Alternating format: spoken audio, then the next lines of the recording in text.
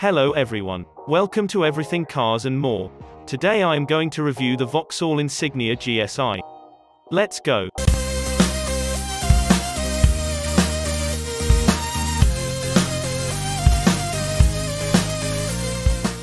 So, the engine specs are as follows. It has a 2.0-litre petrol engine that makes 227 bhp. It has a 0 to 62 time of 7 seconds and it is mated to a 9-speed automatic gearbox. The power is delivered to a four-wheel drive system that you can choose to turn on or off. Now there are some good points and some bad points about this engine. The good point is that it is now a petrol and not a diesel engine. The bad point is that it has 33 bhp less than the diesel and is a tenth of a second slower than the old car whilst torque is 50 newton meters down too. Overall, they're not a bad engine but could be better.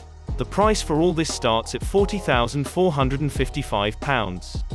So, the front of the Insignia GSI is very sporty and aggressive. The design is modern but not the modern design language that you will find on the Mokka and the new Crossland and upcoming Astra. The design is very similar to the old Insignia GSI but also different. Let me explain. So, the headlights have a different design. As you can see the LED daytime running lights have moved down to the bottom of the headlight unit and the matrix headlights have been replaced with pixel technology. The grille has also changed and is now slimmer and the lower grille has a different design. The side vents are sporty and aggressive which I like. Some people may be thinking that this car looks similar to another car. Those people will be right because the design is very similar to the new Corsa. Along the side nothing much has changed so you get some sporty wheels and some red brake calipers. At the back again nothing has changed much. The bumper is the same as the old one so there is nothing to talk about. So, on the inside there are no changes but there are some changes that were introduced partway through the pre-facelift life. So, let's go through them.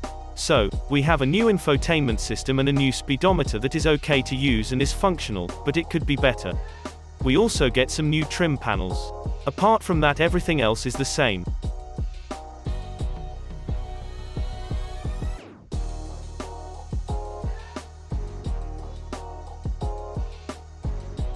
So, space in the back is excellent. There is enough legroom and just enough headroom, but it is limited because it is a saloon-style car. You get some air vents and some USB ports and a nice armrest.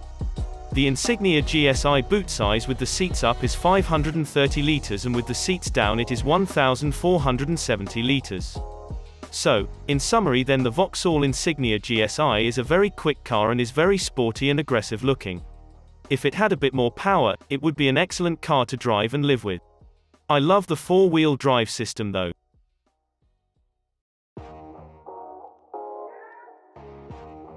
If you liked this video, then please do not forget to comment like and subscribe.